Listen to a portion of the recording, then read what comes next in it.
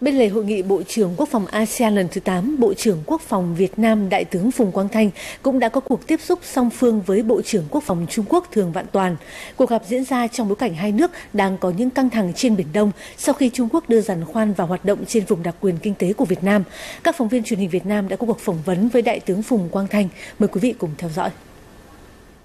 Thưa Bộ trưởng, Hội nghị Bộ trưởng Quốc phòng ASEAN lần này diễn ra trong bối cảnh là có những căng thẳng xảy ra giữa Việt Nam và Trung Quốc trên Biển Đông. Và đây là vấn đề được dư luận quan tâm. Và được biết là Bộ trưởng đã có cuộc gặp trực tiếp với Bộ trưởng Quốc phòng Trung Quốc à, Thường Vạn Toàn. Vậy xin Bộ trưởng có thể cho biết về nội dung và kết quả của buổi làm việc này. Trong cái cuộc gặp này thì à, hai bên chúng tôi cũng đã trao đổi một số vấn đề, đặc biệt là những cái hợp tác về lĩnh vực quốc phòng giữa Việt Nam và Trung Quốc thì đang phát triển rất là tốt đẹp. Nhưng mà rất đáng tiếc ấy là xảy ra cái vụ việc mà Trung Quốc đưa cái giàn khoan Hải Dương 981 ờ, vào cái vùng đặc quyền kinh tế và thềm lục địa của Việt Nam, gây ra cái lo ngại ờ, của khu vực cũng như là bức xúc ở trong ờ, dư luận của nhân dân Việt Nam và chúng tôi cũng trao đổi thẳng thắn phía các bạn Trung Quốc ấy là quan điểm của Việt Nam đó là đấu tranh bảo vệ chủ quyền lãnh thổ nhưng mà bằng cái biện pháp hòa bình. Đó là bằng cái luật pháp quốc tế rồi công ước luật biển năm 1982 rồi theo cái tinh thần uh, tuyên bố 6 điểm của ASEAN thế và tinh thần DC DC là gì? Đó là giữ nguyên trạng những cái tranh chấp thế và phải uh, đàm phán hòa bình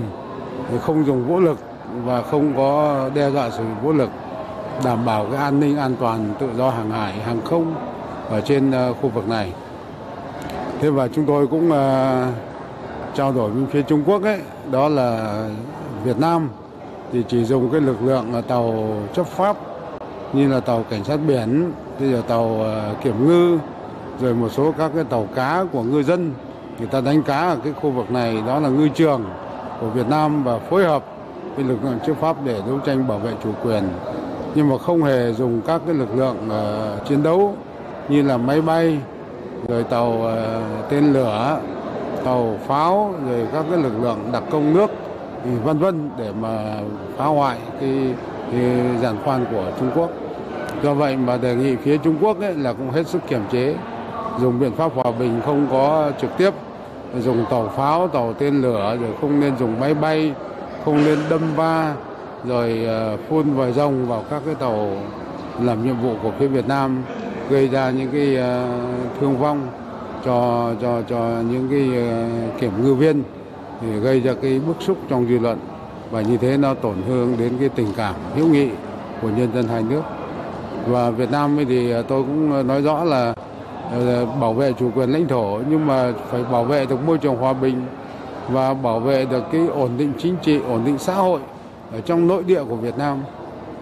và phải tiếp tục là đoàn kết rồi hữu nghị rồi hợp tác toàn diện với Trung Quốc theo tinh thần là đối tác hợp tác chiến lược toàn diện. Thế và để tập trung vào phát triển kinh tế xã hội của đất nước chứ không làm ảnh hưởng đến cái phát triển kinh tế. Thế thì chúng tôi trao đổi với phía các bạn Trung Quốc và cũng mong là hai bên chúng ta cùng nhau ừ, uh, kiểm chế trên thực địa thế và tích cực tham mưu Ờ, đối với lãnh đạo đảng, nhà nước để xử lý vụ việc cho nó ổn thỏa, để sớm ổn định lại tình hình và khôi phục và phát triển sản xuất. Xin cảm ơn Bộ trưởng về cuộc phỏng vấn này.